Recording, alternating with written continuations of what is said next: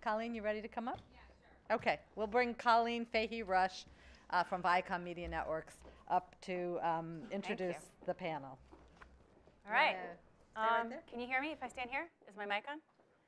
All right. Um, well, our last panel of the day is called Harmonizing Cross Media Metrics. Um, before I start, I just want to thank Jane. This has been an incredible program. Um, I think every single topic and every, single every single speaker has been incredibly relevant. Um, and it's been a strong afternoon and really strong attendance as well, um, if also a little chilly.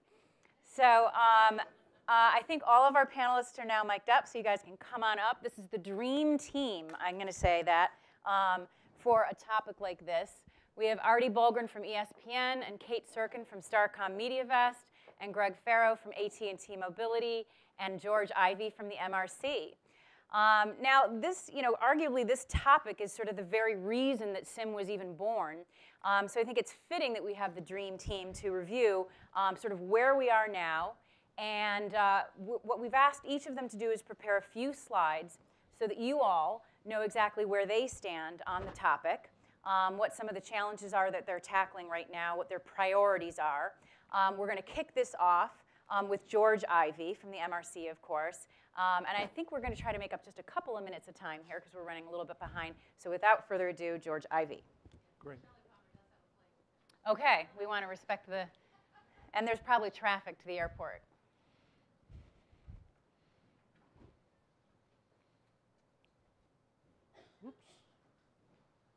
So, uh, thank you, and thanks, Jane. This has actually been terrific. Great program. Thanks. Um, I'm going to talk to you a little bit about the MRC's perspective on this issue. We're in the middle of a lot of work in this area. That's kind of an understatement. We're buried by work in this area right now. Both the MRC staff and our members, we're pretty much killing them with meetings after meetings about this topic. So what I'm going to talk about are some of the major steps.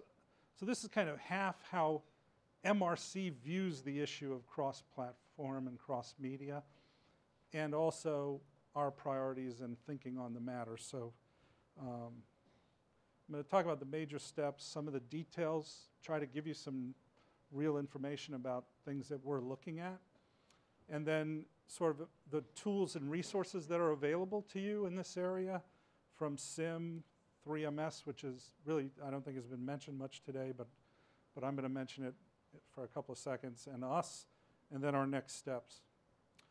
Uh, level setting, we use the term cross-platform some, sometimes, we, we use the term cross-media sometimes. We view those as different terms, but regardless of how you set the definitions, one thing that's been very clear uh, and communicated to us by many constituencies is that the priority is to straighten this out for video first. Uh, from all measurable sources, uh, we get that from everywhere, and uh, we're sort of trying to take action on that.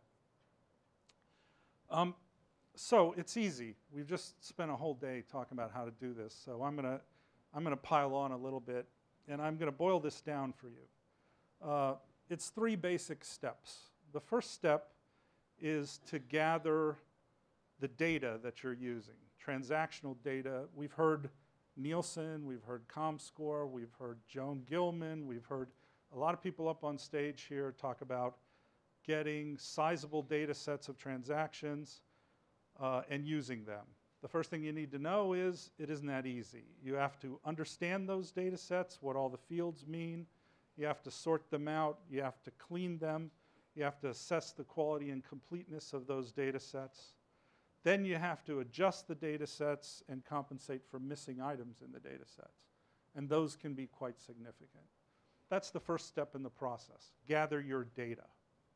Second step is figure out what you're going to do with it. You're going to integrate it. You're going to start to make decisions with it. So there's a lot of work associated with that. First thing you need to do is figure out how to attribute audience, because these transactional data sets typically don't have audience data associated with them. You have to look at that process. You have to make sure it's a good process, and you have to make sure it's accurate for all groups. For example, children. They can be very, very difficult groups to attribute data. Um, you need to associate that data across the platforms. and across the data sources. And then you need to use a process to create unduplicated audience, which is a very complicated process and an area of science that is emerging in our industry. Uh, there aren't a lot of perfect answers for that. Then you have to report the cross-media audience currency, and one of the key areas of that is to decide on what UE you're going to project it on, which is an area of industry debate, but we're sort of coming down on, let's just use total population of the US if we're going to be using these far-reaching cross-data, cross-media uh, data sets. So that's about setting up the impression data. But you should know that there's more. At the bottom here, on another day, another panel, maybe the fifth annual meeting, we can talk about measuring engagement attributes. We can talk about mapping the data to outcomes, because you've heard marketers say they care about sales, ROI, things like that. So for now, we're just talking about impressions and how we can deal with that. But we got to move further than that. Understand that's a priority. So now I'll give you some examples. Unless you've been under a rock, you've heard about the, traffic, the uh, topic of invalid traffic and fraud in digital. This is just a slide that lists the different types. So this isn't about how to do it. This is just the names of them. You've got, you know, data center traffic all the way to hijacked devices, mad, malware, out, adware, fals- falsified viewable impressions. There's tons of these things. This is an extremely complex area, very large and difficult task in digital. The industry is aligning around solving this problem. Digital practitioners, the MRC, various parties. There's a lot of work going into that right now, but just know if you're going to use transactional data, any, any of it's digital, you've got to sort this stuff out of it. If you don't do that, you're in peril. Then you also have to clean that data. Another big priority of MRC has been viewable impressions. We have to make that data compatible with other media platforms. So we've been implementing viewable impressions for desktop, which is an opportunity to see standard. Again, for another day, we're going to be talking about engagement. But right now, we're just talking about creating impressions. Um, we have to add baseline metrics to that to make these impressions measurable in a way that's consistent across platforms. Consider completeness and quality of that data. Are all browsers included? Do you have all the apps? Has everybody implemented your SDK that you care about? All these types of things. So this is a difficult area too. Jane asked me to spend a second on mobile viewable impressions. It's a priority that's unfolding at MRC to set standards for mobile viewable impressions. If you take away anything from this particular talk, you should take away that setting standards for mobile viewable impressions is going to be difficult. Mobile doesn't work the same way. You have a large swath of the devices where you can't operate flash. You have totally different communication protocols in mobile devices from desktop devices that are set there to conserve power. So we can't communicate constantly about viewability decisions. We have to change the way that works. You don't, you, informally in mobile, you could rely on there being a single focus state. Basically, what's in front of you is the only thing that could be in front of you. But now mobile is evolving where you can have tabbed browsers and hidden content. So, so this is much more becoming like a desktop viewability decision without the tools to do it. In-app is a totally different story. We have to figure out how to make the viewability decision work in apps. Uh, when it comes to figuring out whether the space of the ad is viewable, the actual face of the video or display ad, the technology is not really there yet to say even whether 50% of the pixels are measurable. You still have iframe issues, some of which you can't solve because you don't have flash. Uh, sometimes, if you've ever been in an ad and uh, in an app and you click on a picture and it looks like a window opens, you're in an HTML page. So you might think you're actually on the net and not in the app. You can't even tell whether you're in the app or the net sometimes. You also have no cookies in that environment, which isn't particularly important in viewability decisions, but it will be later when we start talking about assigning audience. cookies are important in audience. We've talked about return path data pretty extensively today. Um, just know it's extremely difficult to use. It's extremely valuable, but it's very difficult to use. You have to understand how the source arranges the data. Is it second by second data? Do they cull out any tuning events that are less than 60 seconds? There are MVPDs that do that. So that's obviously not the same type of data. Look at the granularity and understand the fields. You've got to account for a whole host of things like on and off state of the set-top box, clock alignment, time shifting, VOD, ghost records, other spurious content that you got to sort out that you think might be viewing, but it's not. And then the collection cadence. Many of you guys that work with Nielsen, you're used to overnight ratings. Well, collecting data from set-top box on a regular cadence of overnight doesn't work well. So, because set-top boxes aren't designed to be measurement tools. Um, you have to project things you don't have, like over-the-air households. I haven't really heard much about over-the-air households today, but they're still important. There are a lot of Hispanics in those households.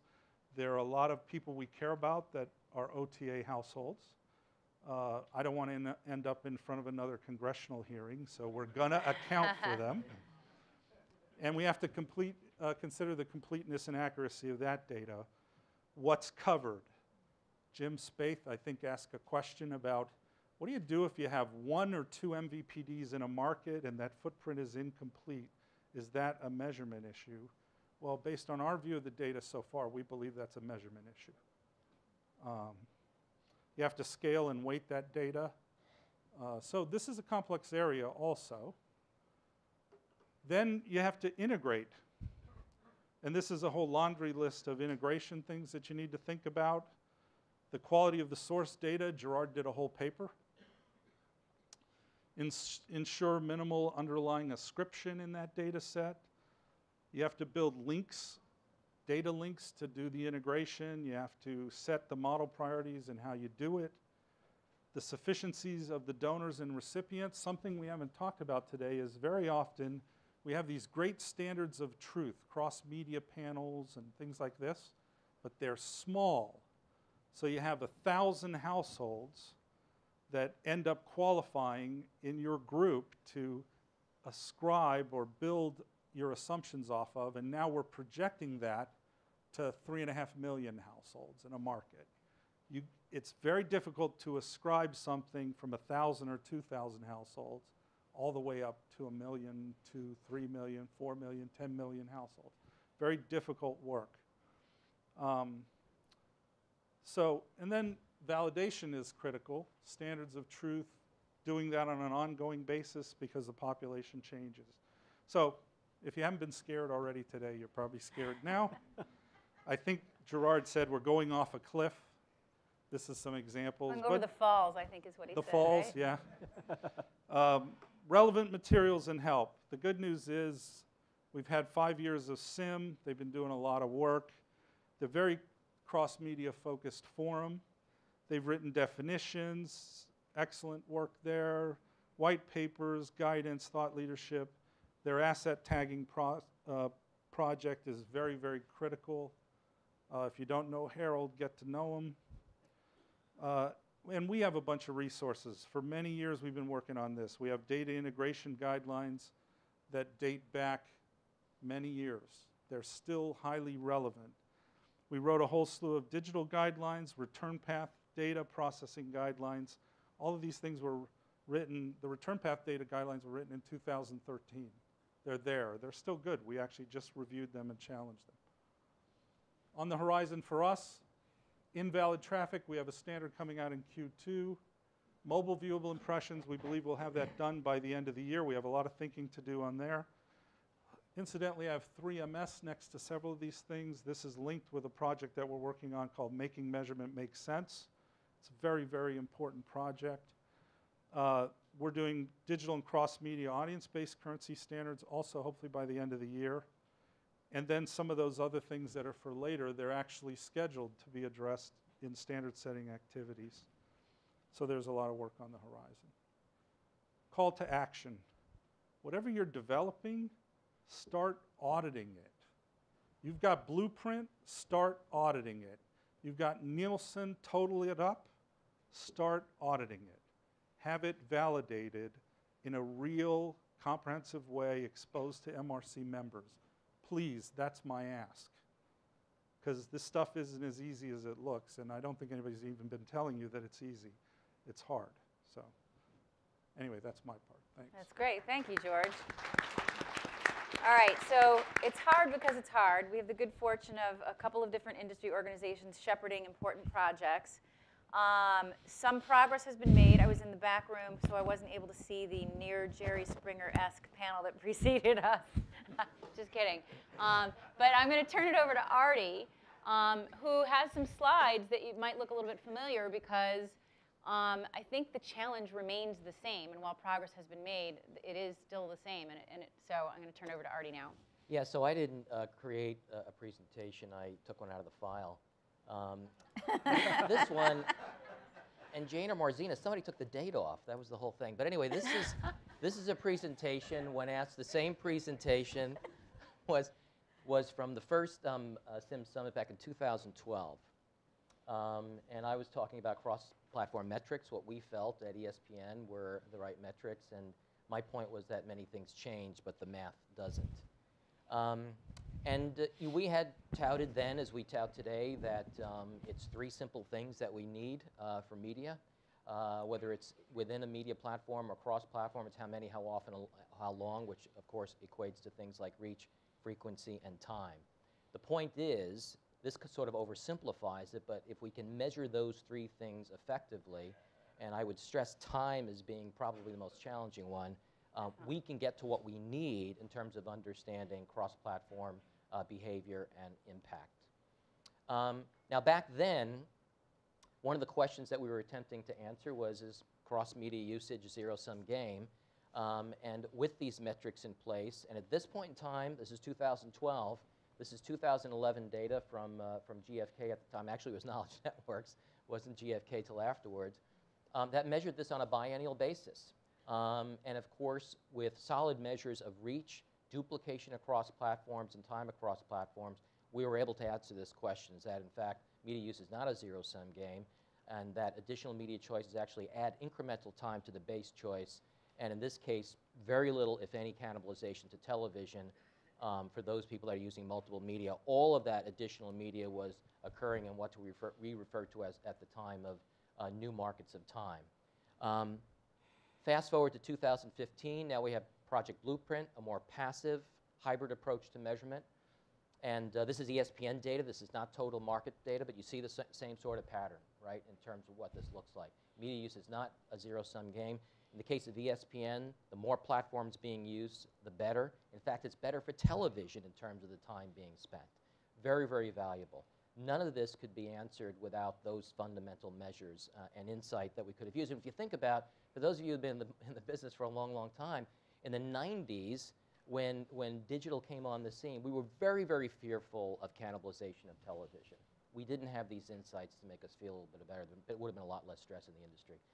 Um, so our measurement goals at that time in 2012, in terms of business implications on the planning and the posting side, first in planning, we needed great measures to understand behavior. So when you're planning, whether it's for an advertiser or planning even on the media side for a proposal, you need to understand behavior because that changes continuously. Um, how big is the audience? And is it driven by users? Is, it driven by usage? Is it driven by net reach or, or by time? Uh, we need insights in terms of where and when this media, these media platforms are being used. And of course, those insights can drive mix and weight of a particular, of a particular plan. On the posting side, we need measures of impact. Um, and the first thing that comes to mind there is exposure because there is no advertising impact without effective exposure. Um, uh, did we reach our target audience? Did we reach it effectively? And then with the impressions that we delivered, how did we get there in terms of uh, was it reach? Was it frequency? Did we reach our reach and frequency? Did we uh, uh, accomplish our reach and frequency goals? Which, which, by the way, are questions across platform we can't even answer today. Uh, maybe very, very shortly, though. We're getting very, very close. This is the kind of question that we were hoping to answer, right? If I If I, you know, di- uh, uh, uh, bought a schedule of a million impressions, how did I get there? Was it high reach, low frequency, moderate reach and frequency, or low reach and high frequency? Again, questions we simply can't answer today. So billions and billions of dollars being spent on advertising, these are questions that simply need to be uh, you know, answered at the end of the day uh, from an advertising perspective. And so today, this is kind of what we're, well, today, this was 2012, but still today, if we have a million impressions, this is what we have, right? This is all we know. And really, what we should know is this, right? In simple terms, this is what we're after. And then, one last point to make is the value of an age old metric, which is average audience, average minute audience, which is really a function of reach and time. And it's an elegant metric when you think about it. It's a rating at the end of the day, it's a rate of usage. And very, very important for predicting impressions for advertising, which is why it was created in the first place. And this is an example which we apply to digital now. At ESPN, we evaluate our digital platforms using average, audience, average minute audience so that it's comparable to television, so we can understand how our total media look like. We don't have that net reach part just yet. We're getting very, very close, but this is a, a measure of evaluation. So here we have site A and site B, and one delivered 50 million uniques, the other 30 million uniques. But when we look at it more closely and we look at time, we see that site B uh, had engagement of more than of about three times site A. At the end of the day, the average audience of site B was nearly twice the size of site A. What does this mean? It means when that 15 or 30 second unit runs in a linear piece of video content or uh, as a pre-roll to VOD, site B is going to deliver more impressions at the end of the day. So it could be deceiving. This is why we need metrics like this. And it's very simple. It's how many, it's how often, and how long. Great job. Thank you very much. Um, okay, so now we're going to turn it over to Kate, um, um, who of course is at Starcom Media Vest, and she's going to be covering, um, she's going to be tackling how they're thinking about not just exposure metrics, um, which has been, you know, sort of the, the main lane that we've been talking about for years, but also what's, what's, what's quickly become a huge topic, um, which is using big data uh, to get more into custom segmenting and targeting, and, uh, and how she's working with media companies on that.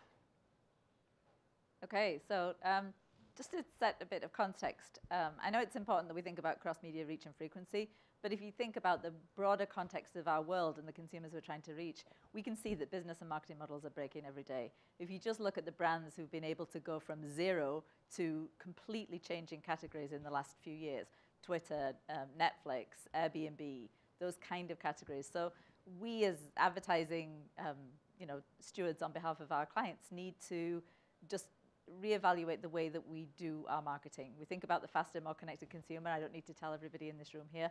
Um, but I think what that drives is the ability to use that data in a much richer, more aggressive way to connect with advertisers. And I, I don't want to just simplify it down to reach and frequency because that's important. There's much more opportunity in data than, than um, I think that allows us to look at. So um, you know, it, we think about all of that, but then we think, oh my God, what did my reach and frequency do across my campaigns? So um, we need to take a step back and start to measure some of those things. If we sit and wait for the industry to deliver all those things in platforms, you know, we'd have been fired by all of our clients years ago, and that's not acceptable. We have marketing campaigns and consumers to reach and brands to build every day. Airbnb is one of our clients, and, and they certainly operate in a world that's so real time, so focused on connecting consumers and pushing their brand out around the world, you know, ASAP. So, so you know, it's absolutely critical to set that context. So, hopefully, people can see that more clearly than um, that looks on some of the big screens. Um, we try to break it down into three different areas. What do we need to think about when we're planning those campaigns to reach consumers? What do we need to think about when we're negotiating um, an in campaign to make sure that the money we're spending is optimized during that time and, and in upfront negotiations and all of those kind of things? And then at the end of it, did it work? How do we think about attribution? How do we think about how each of those exposures connected to make that full campaign and push a consumer along the journey to, to have a relationship with the brand? So in planning, you know, the idea of process and context metrics is important. Reach, frequency, time spent are critical. How do we balance that with the cost of advertising in those places and the impact? and what's the role for the consumer and the role to start to create an experience within that platform. I think we don't just think about media vehicles, but we think about platforms, particularly something like an ESPN um, or an NBC Olympics. What we're trying to do is engage with consumers during that platform, not just expose them. Um, and clearly, the idea of richer targets beyond demos is, is important to us across most of our clients. When we're in negotiation, you know, something that's been brought up a lot today and over the last few months is the idea of transparency and trust, um, and then thinking about viewability on top of that. We build a lot of the metrics and the um, uh, you know, numbers that we'll base some of those negotiations on in the terms and conditions that we uh, trade with with our media partners. Um, and the other thing that is important at that stage of the process is the speed at which data can be returned back. We've all experienced with the digital world, um, you know, more real time than, than TV post buys or print execution post buys and those kind of things. So, so speed is critical there as well. And if we think about the evolution of currency, to a more outcome and value-based currency, um, and some fast indication of impact for that ongoing optimization. And then when we get to the attribution stage, you know, obviously exposure is critical. As Artie said, if you don't expose somebody to a commercial, they can't possibly be expected to act on it. But then the idea of frequency, if I think back to what Conagra have learnt, um, the ideal, you know, it goes back to the old world of three frequency is important. So if we can't measure those three frequencies across platform, we're never going to know so that's critical there. Um, and there, the idea of expanded audience segments um, is absolutely um, the way we need to measure some of those campaigns against, not total audience, and the ability to link um, that data set to other data sets. Um, and today, if we think about where those data sets come from, many, many different places. Um, we at uh, SMG have our TARDIS product, which effectively does what Megan showed on the last page of her presentation with all of the different connected data sets looking at reach and frequency across all of those platforms. We have our PACE panel, which in the US is based on the Touchpoints uh, data set that CIMM brought to the marketplace and RealityMine now um, have uh, continued to expand in the US. And we do many, many custom studies. We have relationships with Acxiom and Datalogix and NCS and, and all of the different data providers that exist across different industries and categories. Um, in terms of negotiation and in campaign, it's the old favorites. It's Nielsen and Comscore there. We do use short form surveys. Um, they're not ideal, but they're helpful for fast response. We've started to use lots of Twitter uh, data and um, social data from Facebook and, and Canvs to help us understand how and why campaigns are working. And again, linked to data sets from NCS and IRI um, are helpful there too. We wish those would be available at a faster speed though for in-campaign optimization. And then looking at attribution, obviously ComScore, Nielsen, DoubleClick, Vindico, um, DMP, and our Run acquisition um, from SMG is helpful for the attribution phase. That's person-based and device ID-based um, tracking within the DMP. Set-top box integration of, both aggregate and disaggregated data. Again, Datalogix and Acxiom and, and those different data suppliers. Um, very happy to see Gerard's um, review. That's going to be helpful. We know that data is not perfect, um, but we can't wait until it is. But his white paper will help us continue to improve the, the access and, and the relationship with those data providers over time. Colleen had asked me to look a little bit about how we think about programmatic and, and you know, the split between how we allocate our budgets to programmatic and to premium content. Um, what are their metric needs? And to be honest, many of it is, is the same as, as the traditional um, way that we think about planning. Obviously, audience data and trust are a little bit more critical at the planning phase. Um, but as we go into programmatic, we soon find out whether you know, the idea that we trusted this one data supplier and whether they turned out to be any good or not, because we see the results. So it makes it a bit easier. Um, and then the other da uh, data points are more or less the same. I wanted to show quickly a couple of charts that um, show some of the data that we've used in some of those budget allocation decisions. So this first one is work that's been done integrating linear TV and addressable TV against richer targets um, and looking at what the mix of, of addressable to um, linear TV is, should be at whatever budget level for the maximum reach. We have response data and sales-based data for these two campaigns as well, but I won't be showing that today. So again, it's not perfect, but it's better than what we had before, and it starts to give an indication to our clients of how much this, they should be um, allocating to different kinds of more data-driven television. And then the second one is just looking at uh, a study that we did, a meta-analysis across programmatic budgets. This is display data, not looking at uh, video, but we'll be repeating this analysis shortly for video. And what you can see here is, um, for a number of different brands, what their investment in programmatic impressions was versus native and premium. And then the KPIs where we saw significant uplifts across those different brands.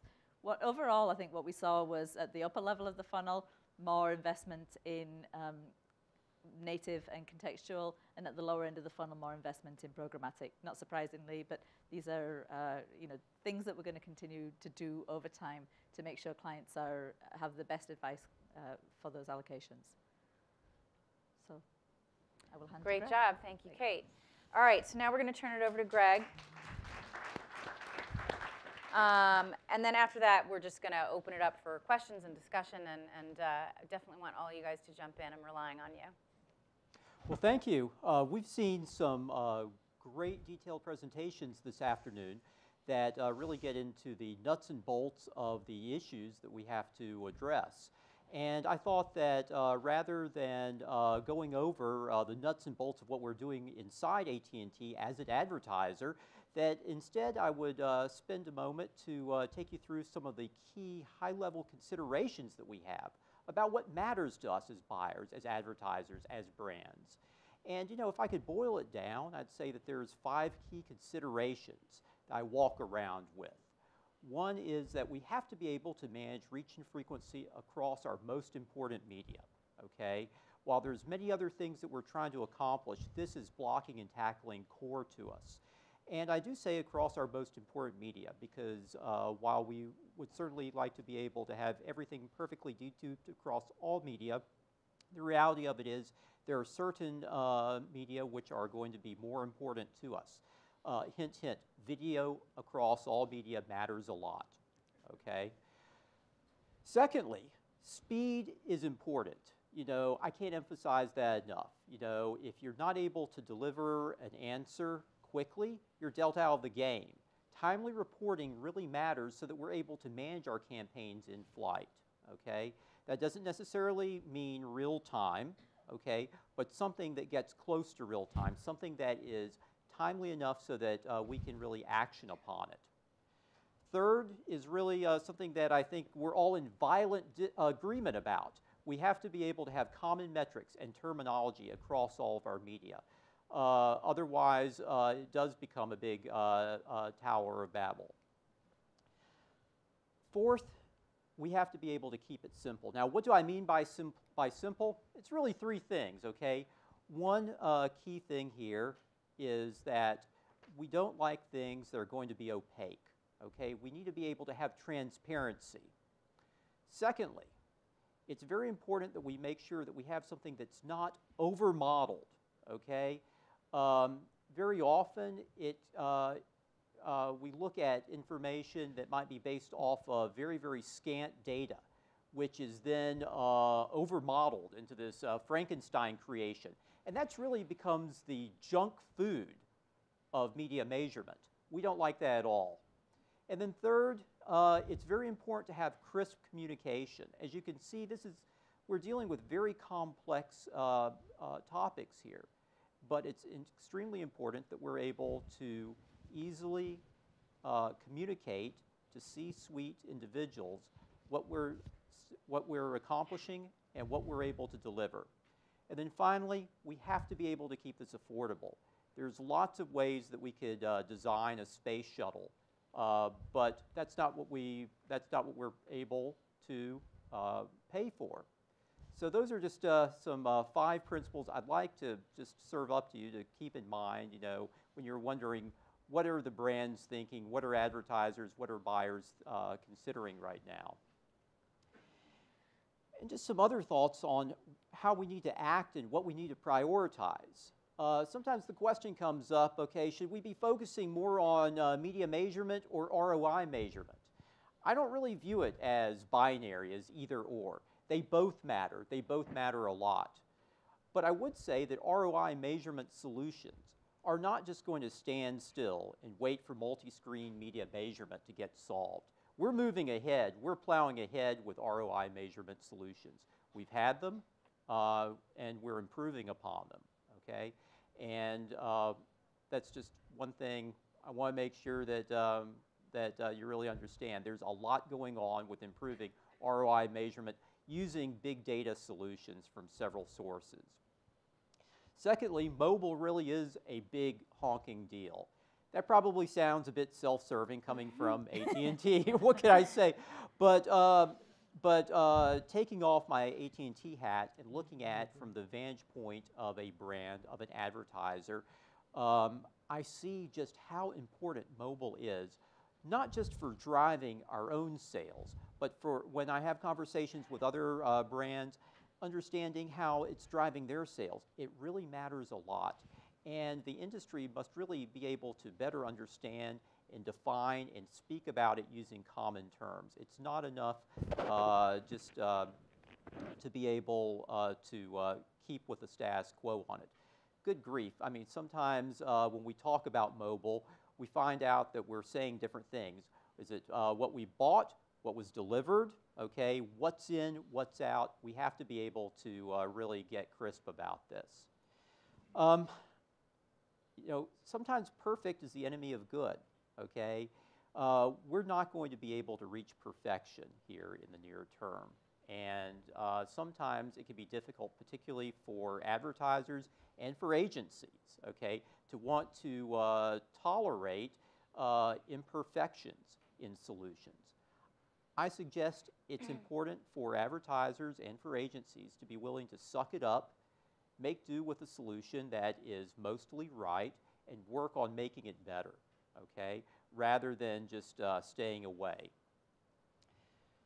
Um, I really like this notion of cooperate and agitate. Um, it's important that we're able to uh, be able to come together like this, uh, that we're able to uh, figure out ways of developing common solutions. And I've got to tell you guys, I get so tired of walled gardens, okay? So tired of, uh, of standalone solutions that, don't, that are not designed to work with and uh, play well with others. It's important that we're able to uh, think about the importance of cooperation across different platforms, across different solutions. And agitation, why do I say that? Because, um, um, because at the end of the day, sometimes you have to break some eggs to make an omelet, okay? Uh, you have to be able, uh, if you reach a point where you're not making progress, okay, to get agitated, to go out there, okay, uh, stand up, sometimes scream a bit in order to get a solution. And finally, embrace technology. Um, one of the problems that I sometimes face is that uh, it's easy for people to become disengaged because their brains hurt because this is so complicated. Uh, we heard Jane talking about the plumbing layer. Uh, we saw that Gerard mentioned uh, the importance of being able to get down into the details, into the nuts and bolts, and really, um, and really kick the tires for solutions. It's important that we're able to embrace this level of detail embrace technology in order to make sure that things get done. Oh, great job. Um, uh, thank you so much, Greg. I think um, one of the, I'm imagining, Kate, that you guys have a whole spectrum of clients that are on sort of different places in that spectrum in terms of their, um, how aggressive they want to be with going sort of a more traditional approach to planning and posting versus, you know, going full on programmatic. And I was wondering how, you know, how do you handle advising them?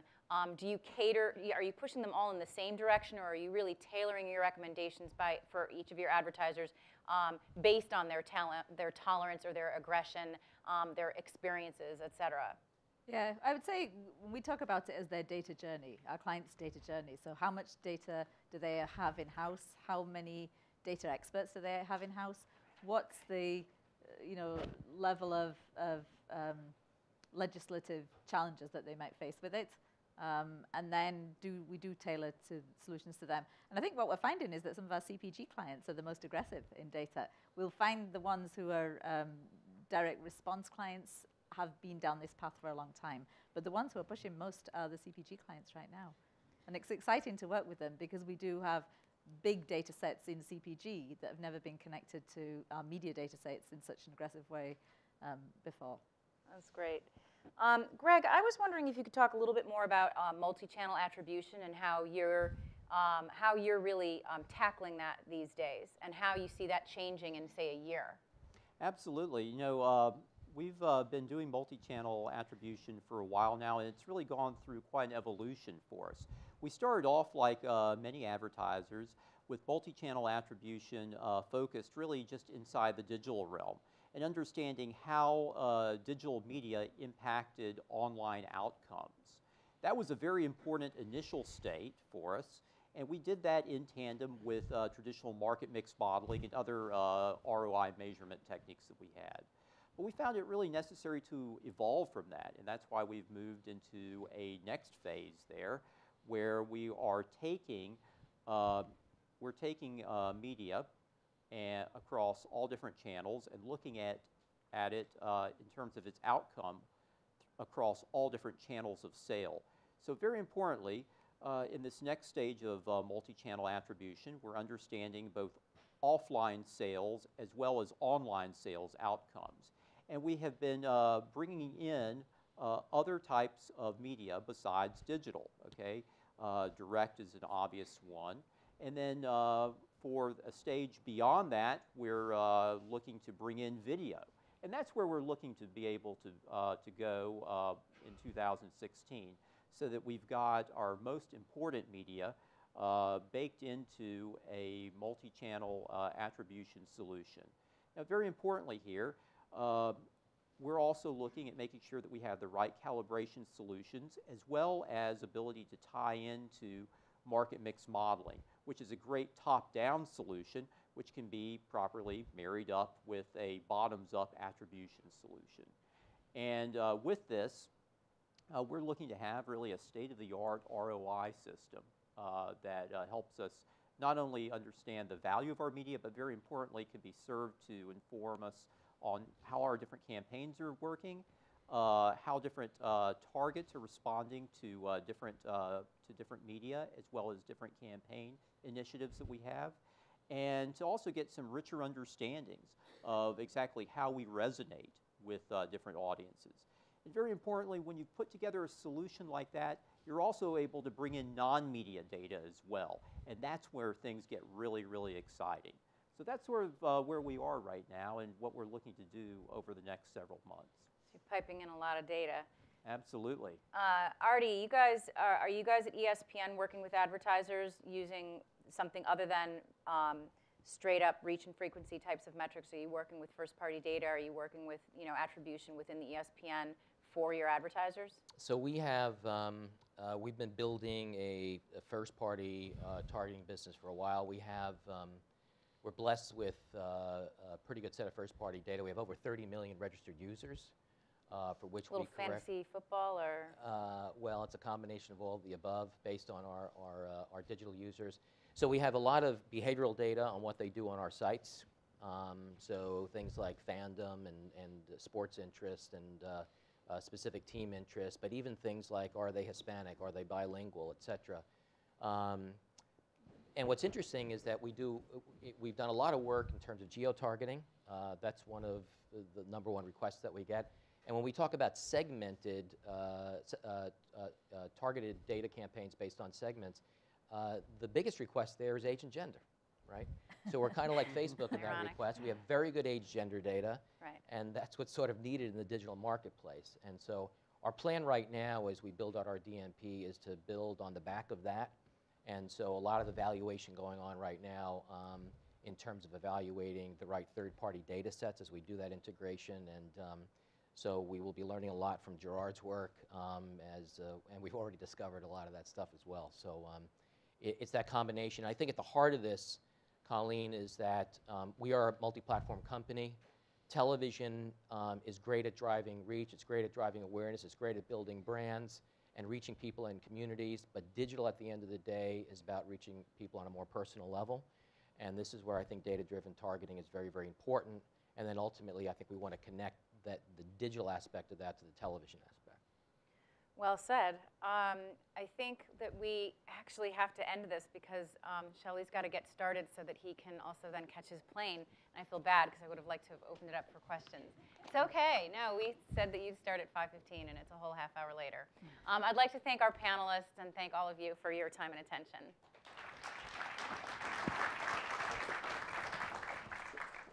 Thank you all so much. There's a lot there, and if you hang around, um, they'll be around for the drinks, and I'm sure you can follow up with all of them. Um, an incredible group of panelists, and thank you so much.